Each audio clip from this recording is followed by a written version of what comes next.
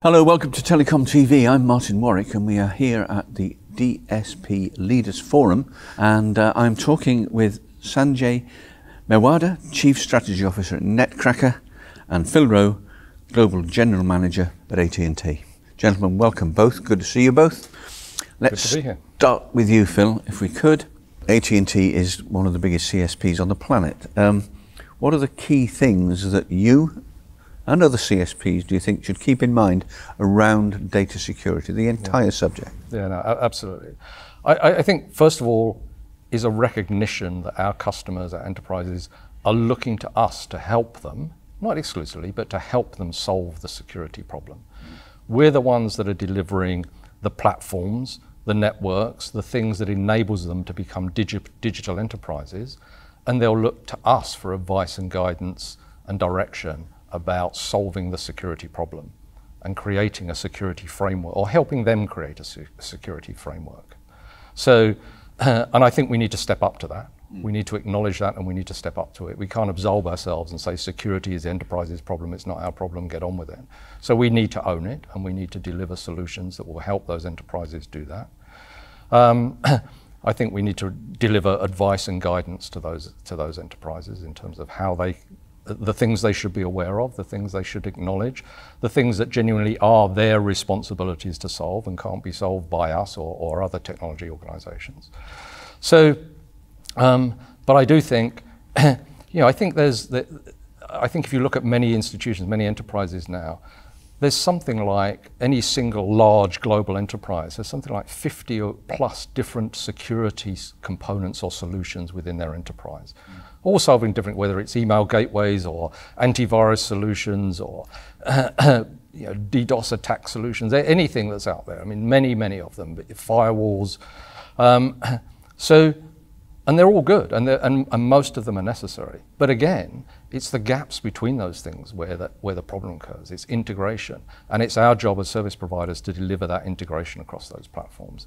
It's our job to recognize, I mean, the, the, the, new AT&T cybersecurity division has created, coined this phrase, security without seams.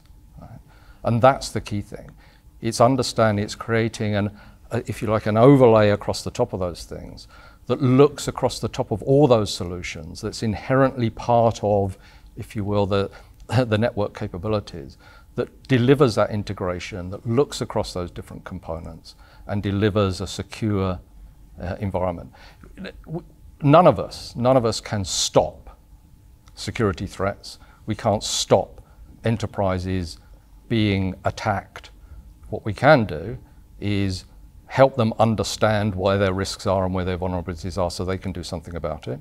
What we can do is make sure we let them know when issues have occurred and when problems occurred, and it's our job to help them understand how they protect themselves in the future from those issues happening again so that they can respond to those issues effectively and have them not impact their business and their enterprises.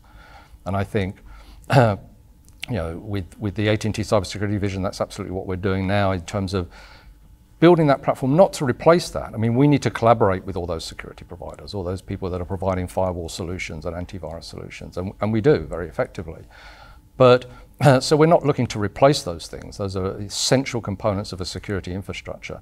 What we need to do is bring those things together and integrate them so they become a seamless security solution and not individual point solutions to individual point problems. Got it. Sanjay, what would you like to add to that? Uh, the devil is in the details, right? Yes, uh, yeah. In, in, in many cases. And Phil makes a good point that there are demarks, right? There are parts within an organization where the organization itself is responsible, say an enterprise, right? Once it touches the network, right, it becomes our responsibility to make sure that all of that data is secure, securely transmitted, securely accessed, securely processed. Um, as a supplier, our obligation is to make sure that the software we deliver um, to our uh, customers, to uh, service providers, is not just best in class, but it has and meets and exceeds all the security requirements. Um, mm-hmm. Organizationally, it's a it's a big uh, big challenge as well, because if you if you if you think of the transformation, uh, all the discussions that we have had over the last day and a half, become going from a CSP to DSP, an important part of that is change in processes. Um, oftentimes, you will have organizations where the security um, function is a separate silo increasingly, um, what we are seeing is the concept of DevSecOps, not just DevOps.